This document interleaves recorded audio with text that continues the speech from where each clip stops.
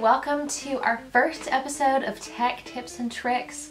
We are going to walk y'all through so many things this year. We know there are a lot of new tech things coming your way, so we are here to help. So today we are going to be talking about how to set up your parent account for Nutrislice, how to order meals, and how to add special meals like a soy butter sandwich, and then also a couple other things for the Nutrislice app.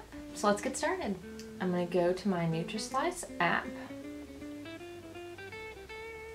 On your first screen, you'll see all the options for the grades. However, the first thing we're going to do is create your parent account. I'm going to click the three lines in the top right hand corner.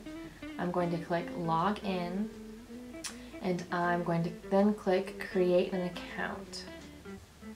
I'm a parent. I will type in my student's name, so I'm going to put Bernie. Bernie does not have any special allergies, but this would be a good place for you to put in if your kiddo is gluten-free or can't have dairy. And then for teacher, I'm going to put first grade with Miss Cuban. And I'm also going to add another student, so I'm going to do Bernie Jr. Still a test. This Bernie Jr. we will say no gluten. And for teacher, we will do JK3, my old stomping grounds, with Miss Talmadge. So now that I have added both of my students, I'm going to hit next. And I'll put in my name and my email address. And now I will create a password. And so your password has to be a minimum of 10 characters and one special character. So now I'm gonna hit finish. So now we've created our parent account, let's go ahead and order lunch for next week. If you aren't already logged in, you can click the top right hand three lines again to type in your email and your password. After you've logged in, you will see your account page. So I'm just gonna close this page by hitting the X on the right hand side. Now you will see the options for all of the classes. And so since I picked first grade Miss Cuban, I'm gonna click that class first. I'm going to click Wednesday, August 12th, because obviously there aren't lunches this week because it's faculty in service. So after I click Wednesday, I'll be able to click the 17th. I will click lower school lunch, and now you will see all of the options for your meal on Monday, August 17th. And I want to remind y'all that for the first couple of weeks of school, we are doing a simplified menu just so we can all get the hang of it. And once we have this app figured out, we will add other items. Just a note. One thing that will really help Chef Aaron is if we order from top to bottom. So I see my options for sandwiches. I would like the turkey cheddar white wrap, so I'm going to click the plus sign on the right hand side, which will then turn into a check mark with a blue dot, knowing that I've added it to my cart. You don't need to add sides. All of the sides will come with your meal. However, if I wanted something else from the daily offerings, you can see all the options if you click the down arrow and you will type in those options later on. After I've added my sandwich to the cart for Monday, I'm going to click the double arrows on the right of Monday, August 17th to see the options for Tuesday, August 18th. And you'll do the same thing. I will just click the plus button to add an item to my cart. Remember to be ordering from top to bottom for Chef Aaron.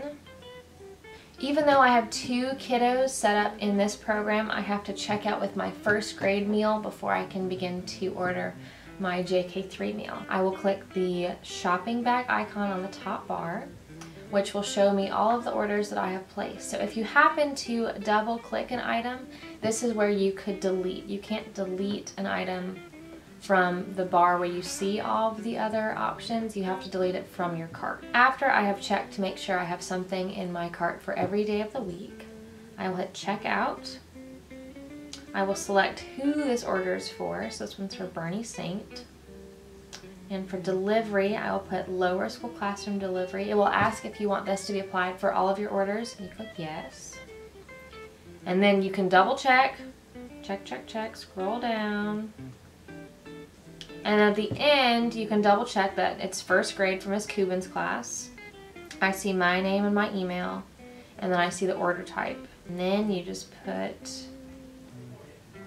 in first grade Cuban for the lower school. And this is where I would add if I wanted a soy butter sandwich or any special dressing for my salad. And then I click submit order. Ta-da! You should also receive an email confirmation every time you place an order and says thank you for your order. Your order has been submitted. Woo! Now to order for my second kiddo, I will click the home button and I will scroll to junior kindergarten 3 because that is where Bernie Jr. is. After I'm in JK3, I'll repeat the same thing. I will click Wednesday, August 12th to then get to the 17th. I will add a sandwich and some beverage.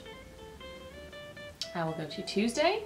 And now I'm to show you what it'll look like if you accidentally select two items. I will click turkey cheddar on white bread and a grilled chicken Caesar wrap, which I'm going to click both of these options to show you how you can delete something from your cart if you don't want it.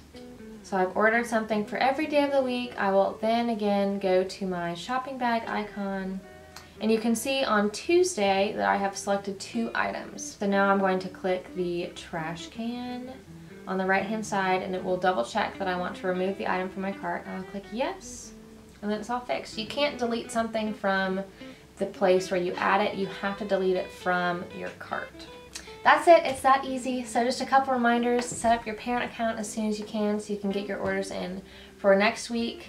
If you need to add multiple students, there's a way to do that while you're setting up your parent account.